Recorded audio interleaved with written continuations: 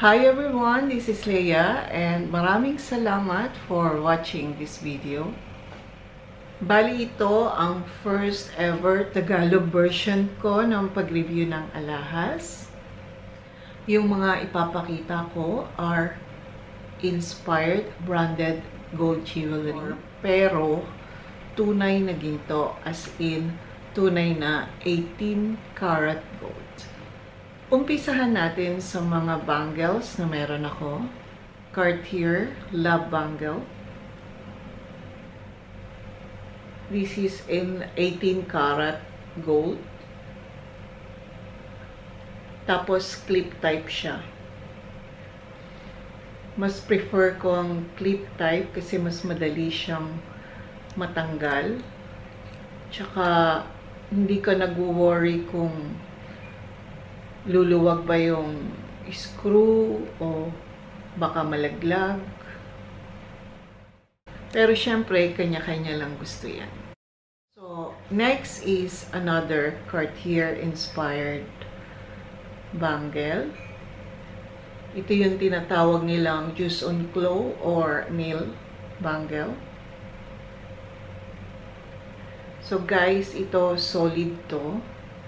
At kaya ko siya binili kasi tignan niyo yung hinge niya.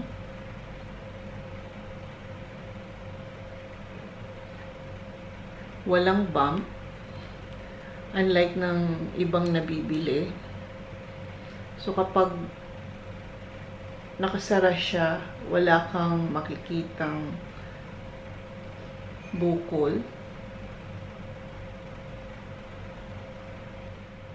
At dahil meron akong Cartier La Bangle, so I decided na bumili rin ako ng sing-sing. So this one is solid yellow gold in 18 karat.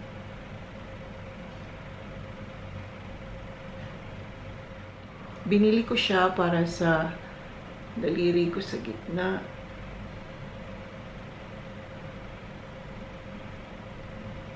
Next is again a Cartier inspired ring.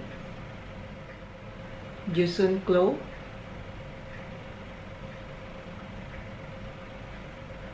Solid yellow gold uli ito. Mas okay kasi pag solid dahil less yung tendency na ma-deform siya.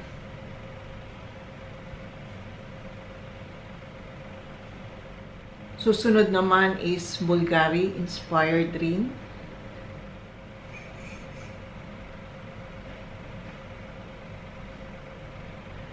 Two-tone. I think ang tawag dito is B0.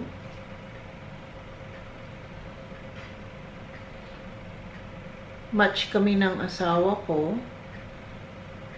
In fact, siya ang bumili nito para sa akin.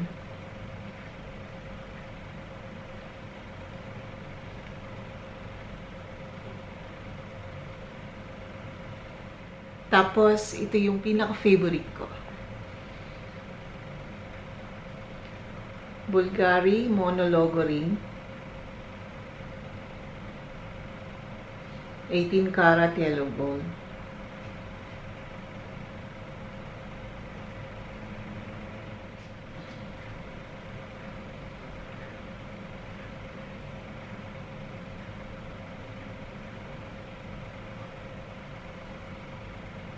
So, move on naman tayo sa mga earrings ko. Siyempre, hindi mawawala ang favorite brand ko. Which is Louis Vuitton.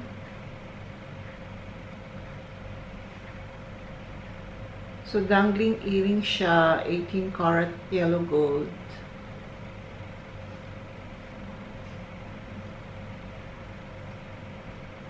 So, itong susunod is VCA or Van Cleef inspired earring.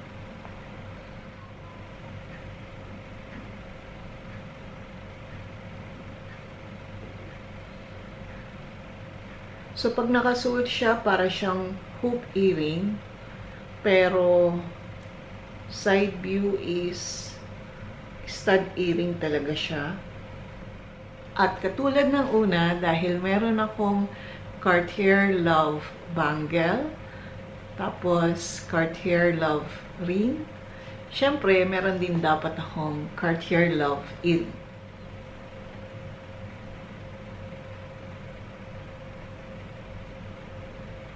So, parang hook type din siya, pero stud yung lock niya. So, ganyan ang lock niya. Itong susunod is Dior inspired naman. Tribal earring.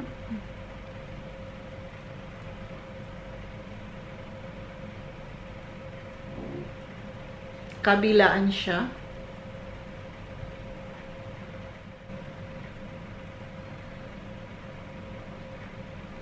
At dahil gustong gusto ko siya, so kumuha rin ako ng small size.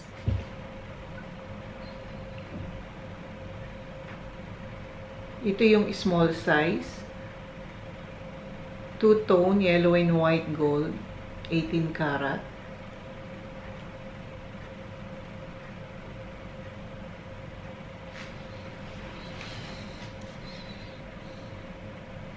At syempre, dapat may pang-araw-araw. Kaya, kumuha rin ako ng maliit.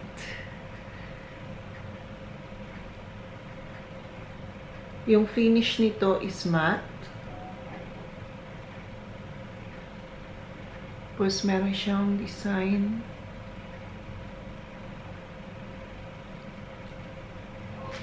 Pasensya na ha, hindi ko siya mapakita ng maayos. Kasi nahuhulog siya sa palad ko. So, move on naman tayo sa necklace. Nung binili ko tong quintas na to, hindi ko alam na ganun sila kaliit. Pero kasi magaan siya, so ibig sabihin mas mura, kaya binili ko yung tatlong available. Ano kasi siya eh, in-order ko lang online.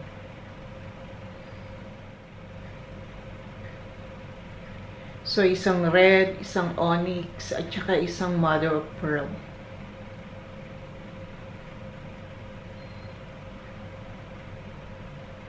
Actually, pwede siyang pang-araw-araw. Tapos, syempre, hindi pwedeng mawala ang Chanel.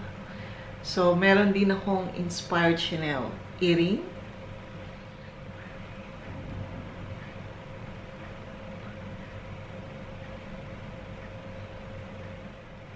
Ganito yung lock niya sa likod. Clip type siya. Tapos yung Chanel earring ko, meron siyang ternong sing-sing. Ito.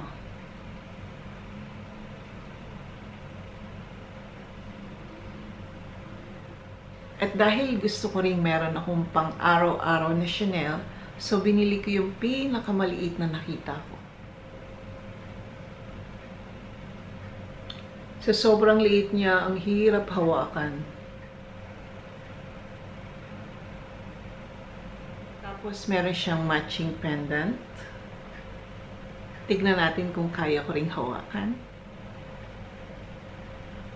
Matching pendant. So itong susunod na set, nung una ko siya nakita, hindi ko siya type. Pero next time na nakita ko siya uli, sabi ko, gusto ko siyang itry nung nasuot ko yung earring, as in, ang ganda-ganda niya sa tenga, kaya dapat biling ko siya. This is the Versace inspired earring.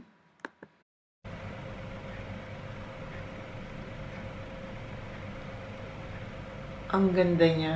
As in, ang ganda-ganda niya sa tenga.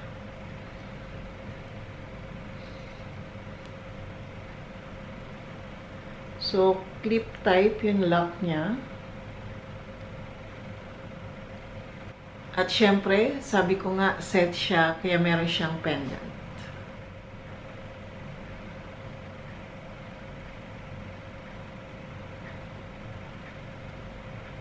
Ito na. Ito na yung pinaka-last na set na meron ako.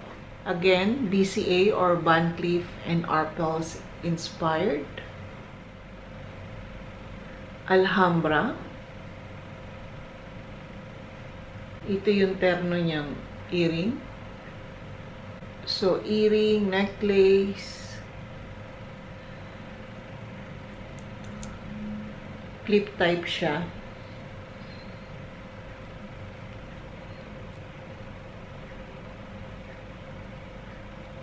And of course, dapat meron din akong bracelet.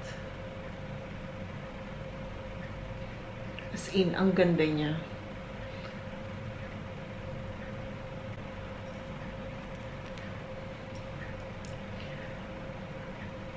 So, pinili ko talaga solid.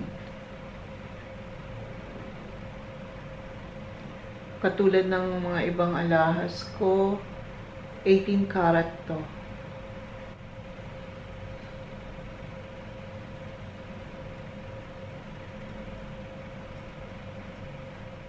Meron pala akong nalimutan banggitin kanina. This is my 18 karat Return to Tiffany gold set. Bali, 18 karat gold din siya.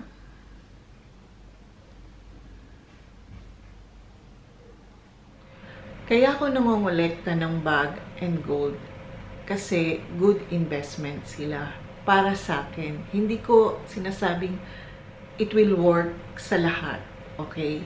Pero kasi, ang bag, kapag authentic, pwedeng pwede mo siyang ibenta uli sa presyo na mas mababa or pwede ring mas mahal, depende sa'yo. Pero ang gold, branded man siya o hindi, kapag nagipit ka at nagpunta ka sa sanlaan, ang kukunin lang nila yung weight It doesn't matter kung branded o hindi, kung may diamond o wala. Ang kukunin lang ng sanlaan, hindi naman ibig sabihin isasanla ka sila, no? Pero ang kukunin lang nila is the gold weight. So parang sa akin, hindi practical na bumili ng fine jewelry ng mga designer brand. Sana nagustuhan nyo yung mga alahas na pinakita ko sa inyo Marami pa akong ibang alahas na ipapakita ko sa mga ibang video ko. Kaya please support my channel. Kung kayang mag-subscribe, mag-subscribe kayo. And of course, syempre, give me a thumbs up. Pwedeng, pwede rin kayong mag-komento. Pwede kayong mag-thumbs down. Kahit ano yan, tatanggapin ko. Maraming salamat sa lahat ng nanood. Hanggang sa susunod na video ko. Bye!